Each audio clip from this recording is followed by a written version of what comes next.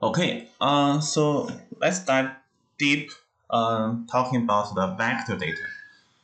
Um, so we will uh, talk more about vector data in the following weeks, but today I just want to give you a, a brief introduction that what are the vector data. So vector data is one uh, most common spatial data. Um, and then actually when you download the data from sensors like shapefiles, um, those are all vector data. And also like the GPS points, uh, the, those LiDAR data, so those are all can considered uh, vector data. So vector data that uh, is a coordinate-based uh, data model. Uh, so that represents features in three categories. So they represent all the features as points, lines, or polygons. Okay, so points, lines, and polygons. Um, and each feature can have multiple attributes that are associated with each vector feature.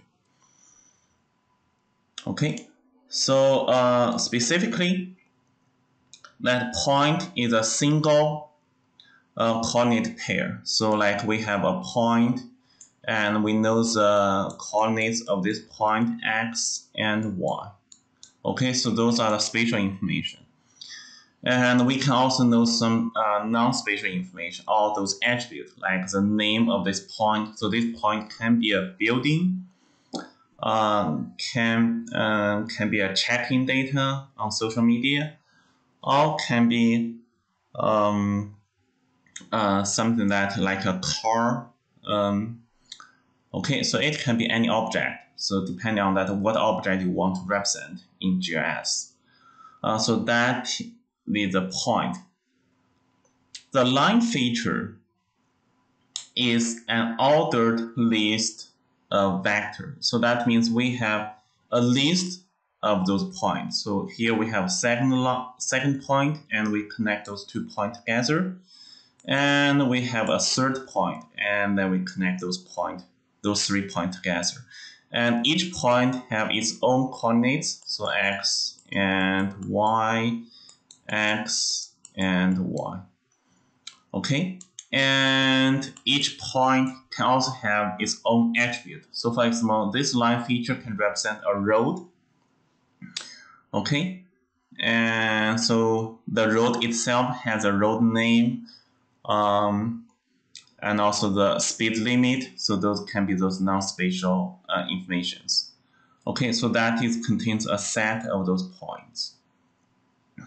A polygon is uh, the polygon is a closed list of the vectors. So that means it is still a list of points, but the difference is that the first point and also the last point is the same point. So it is a closed list of those points.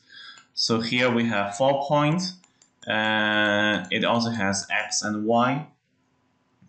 Okay, so now the point can have some other information like uh, the area of those of this polygon.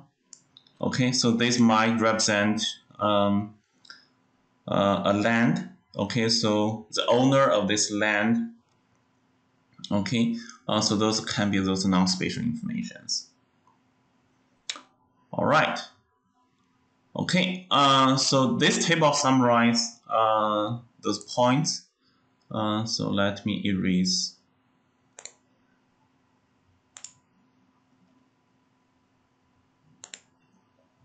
Okay, uh, so this table this table summarizes uh, those three vector data type.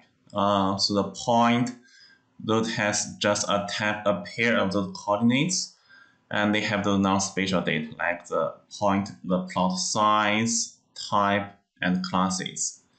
And the line feature, so it is an order ordered list of those points, okay, of vectors. Okay, uh, so uh, point one, two, three, four, okay. And each feature uh, has a one uh, record in those attribute tables. So this can be a road. Uh, this one can be a dirt trail, and this one can be another road. Okay, and then we have polygons. So polygons are also a set of points, but data is a closed list of those vectors, of those points. Okay, so we have the first polygon, and we have those attributes. So it's a grassland, it is protected grassland. Okay, and we have the second polygon and third, third polygon. Okay, uh, so those are the vector data.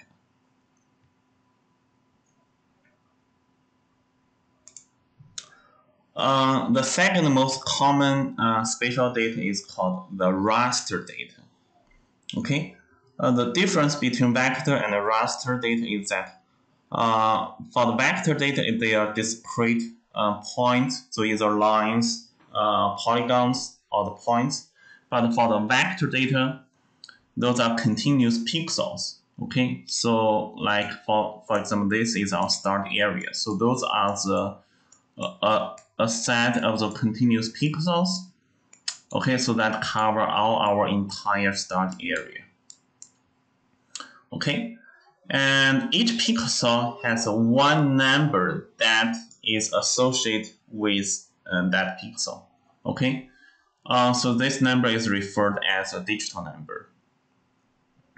Okay, uh, so for example, uh, uh, if we are talking about the elevation, so each pixel size, uh, the value of each pixel will be the height of that pixel. So, so like one, this pixel the height is two, and this pixel the height is 1.5.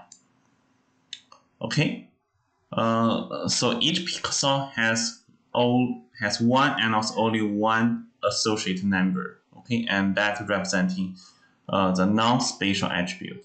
Okay, so that is a raster data. Okay. Uh, so this is one example of the raster data. So that DEM, so digital elevation model. So that uh, talking about elevation of this start area. And if we open the attribute table of that raster data, we can see that each single uh, pixel has one associated digital value. So for example, uh, this one probably will be the first pixel up here and the value is 33 and the second pixel next to it this one okay uh, so this may not be accurate but yeah so conceptually so uh, the second pixel okay uh, so the value is 30 uh, 61 okay so that is this pixel. Okay so when we are representing the uh, object in the real world. So you can choose if you want the space, the, the vector data, or if you want to use the raster data. Okay, uh, so can you, you can use either of them. Uh, but for some objects, uh, vector data might be better, and also for some objects, the raster data might be better. Okay, uh, so those may sound very, very abstract. Um, but later on, so when we um, are uh, in the next few weeks, in the following few weeks, so we'll go to uh, look at the real vector data and also raster data, so you will have the better understanding of those two data types. Okay,